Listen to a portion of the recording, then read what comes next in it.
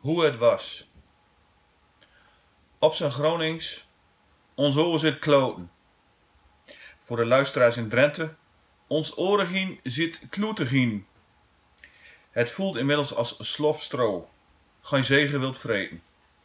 We maken ons er ook druk om en zijn blij dat we het straks weer kunnen laten knippen. Maar eigenlijk is ons kapsel tijdens corona het minste probleem. We missen van alles en vooral contact en aandacht. Ik ga pad met een vriend, er met de auto even uit.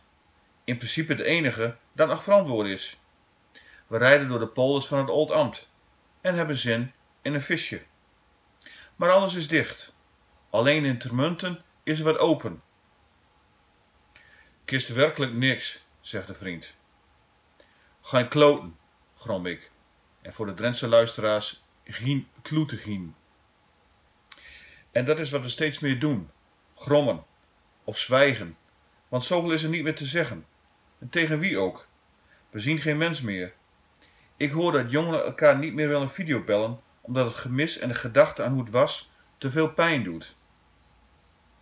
De vriend en ik kunnen na het visje weinig anders dan nog wat rondrijden. We wilden naar de horizon, zoals we vroeger deden, maar daar staan windmolens. De andere kant op ook. Verschrikkelijk, concluderen wij.